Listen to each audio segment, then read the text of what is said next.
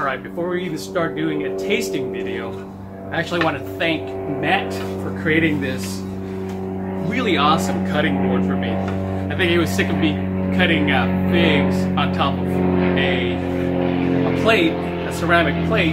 The sound probably irritated him more than anything and made me this really cool custom cutting board. I love it.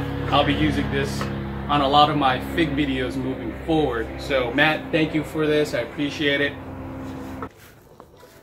What's happening everybody? So it's been a while since I made a fig tasting video, but now that we're in the beginning of July, some of the brevas on my trees have been ripening. What you're looking at here is my Natalina, and um, it's pushed out a few ripe figs. I've already picked off one and tasted it um, previous to this video, so I know exactly what it tastes like, and it's actually really, really good. Uh, this tree, I think I got in 2016 as a cutting.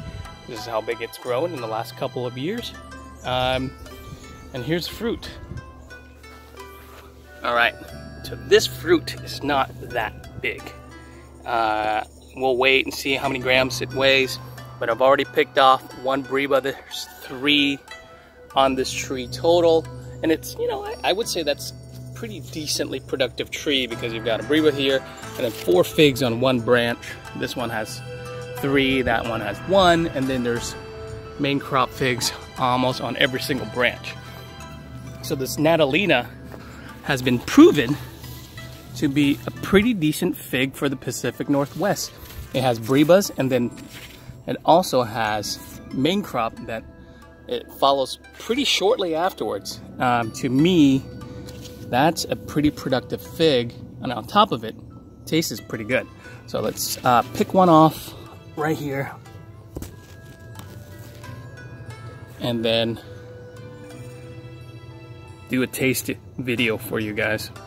Now this actually is not my, looks like there's a little bird damage or something right there, but this is actually not my first ripening fig. Uh, I actually got a Toro that ripened, but the ants got to it before I did. Um, and then a Green Goliath. Uh, that ripened actually around 4th of July.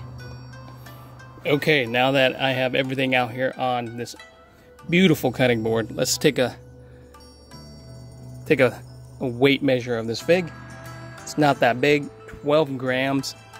On definitely on a small side for any kind of breva, um, but that's okay. This actually has a lot of flavor to it, and I enjoyed it quite a bit on the previous fig. All right, let's zoom into this guy.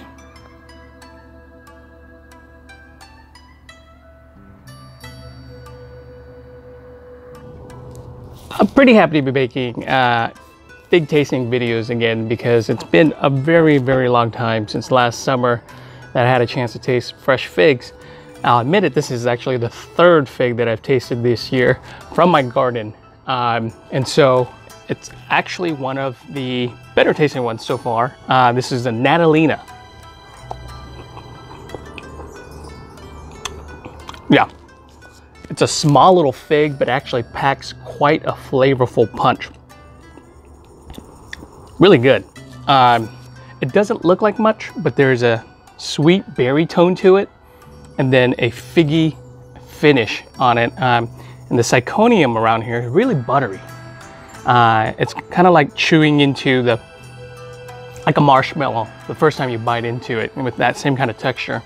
It has kind of a really, I mean, it's almost like rich buttery taste to it, which I really, really like.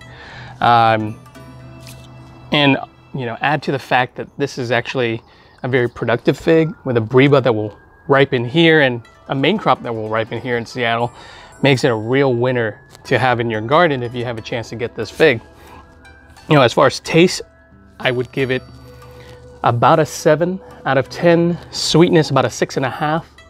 Um, the size is relatively small, which kind of doesn't dock really any points from it because the flavor is decent on this fig. Um, if I had to keep it, yes, I definitely would compared to some others that are you know, more expensive um, and just don't do well here, what's the point of keeping a fig if they don't produce figs for you and all you do is grow wood? So Natalina, really good for the Pacific Northwest. Great in my garden. I really enjoy it. Thanks. If you like this video, please subscribe. It helps me, you know, to know that you guys are enjoying this type of content. Subscribe to my channel and uh, look forward to new fig tasting videos.